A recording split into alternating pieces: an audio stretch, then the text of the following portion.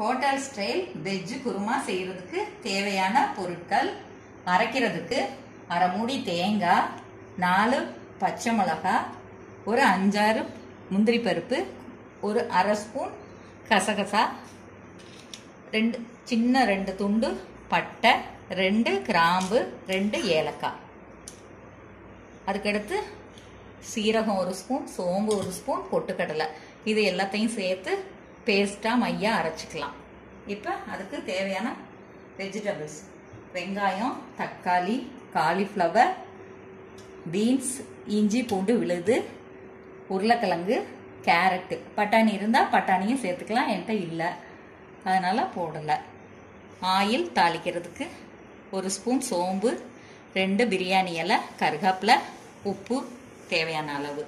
இதுதான் வெஜ்ஜு குருமா செய்கிறதுக்கு இப்போ எப்படி செய்கிறதுங்கிறத பார்க்கலாம். எல்லாம் சேர்த்து அரைச்சிக்கலாம். மிக்சியில். அரைமூடி தேங்காய். நாலு பச்சை மிளகா. பச்சை மிளகாயெல்லாம் உங்கள் காரத்துக்கு தேவையான அளவு. முந்திரி பருப்பு பட்டை ஏலக்காய் கிராம்பு கசகசா. ஜீரகம் சோம்பு பொட்டுக்கடலை. இது எல்லாத்தையும் மையா பேஸ்ட்டாக அரைச்சிக்கலாம். இப்போ அடுப்பு ஆன் பண்ணி குக்கரை அடுப்பில் வச்சாச்சு ஆயில் ஊற்றியாச்சு ஆயில் சூடாயிருச்சு. எடுத்து வச்சுருக்க சோம்பு பிரியாணி எல்லாம் கருகாப்பிலையை போட்டு தாளிச்சு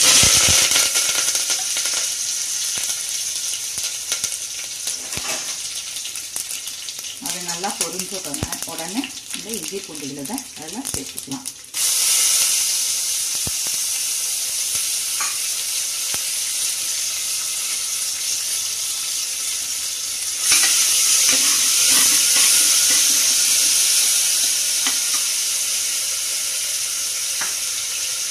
அதுக்கு பொடியாக நறுக்கி வச்சுருக்க பெரிய வெங்காயம் ரெண்டு.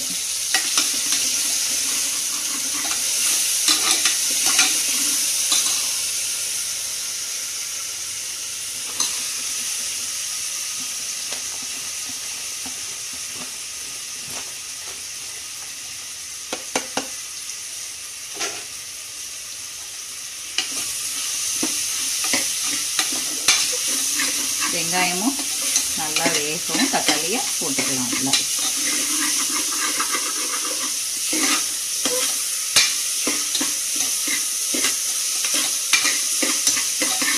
குருமா சப்பாத்தி பரோட்டா பூரி இது எல்லாத்துக்குமே ரொம்ப சூப்பராக இருக்கும்.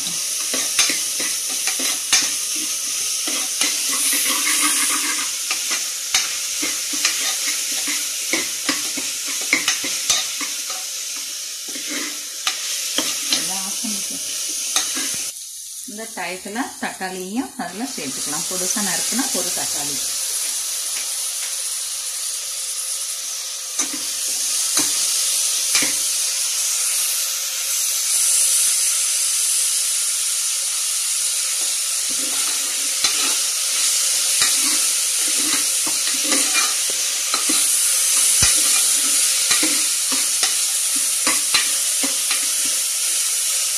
இப்போ எடுத்து வச்சுருக்க காயையும் அதில் போட்டுக்கலாம் எல்லா காயும்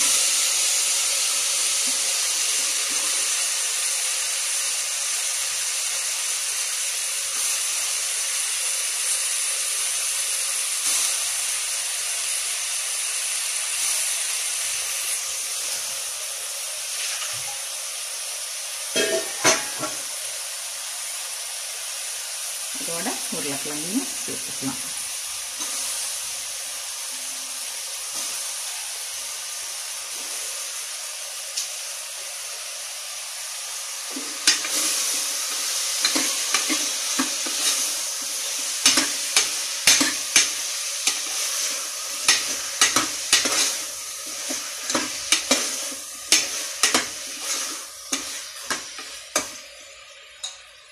இப்போ இந்த ஸ்டேஜில் அரைச்சி வச்சுருக்கேன்.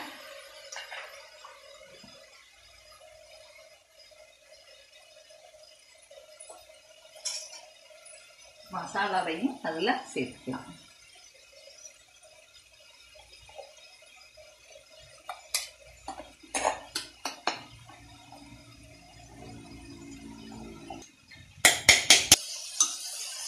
இப்போ மசாலாவையும் போட்டு நல்லா அதோட சேர்த்து வதக்கி விட்டுக்கலாம்.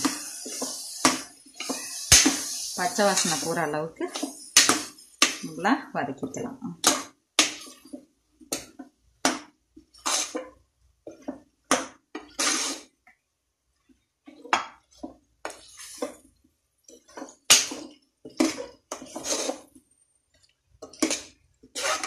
அப்படியே குருமாவோட வாசனை கம கமன்னு வந்துடுச்சு.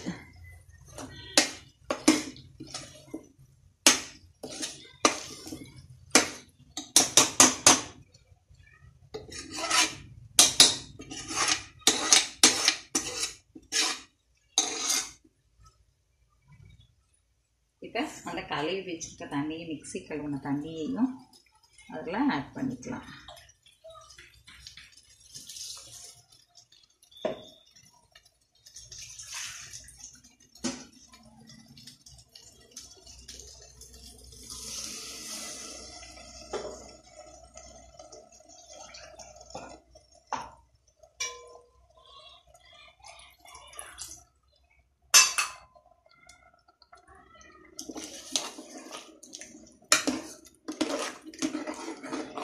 இந்த ஸ்டேஜில் குருமாவுக்கு தேவையான அளவு உப்பு போட்டுருவோம்.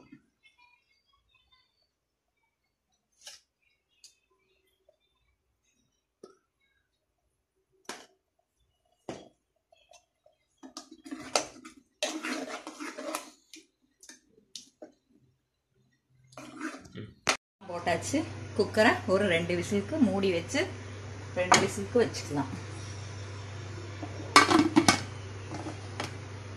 விசில் போட்டுக்கலாம்.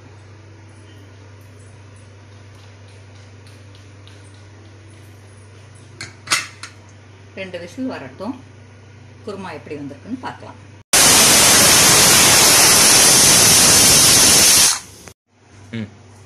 இப்போ ரெண்டு விசில் வந்துருச்சு. ஸ்டவ் ஆஃப் பண்ணியாச்சு. இப்போ திறந்து பார்க்கலாம். ஆறிடுச்சு குக்கர்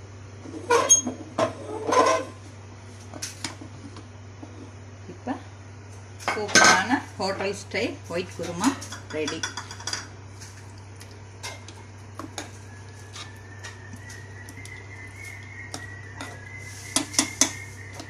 இப்போ பரிமாறலாம். சுவையான ஒயிட் குருமா ரெடி இது இட்லி தோசை சப்பாத்தி பரோட்டா பூரி எல்லாத்துக்குமே தொட்டுக்கலாம். ரொம்ப டேஸ்ட்டாக இருக்கும்.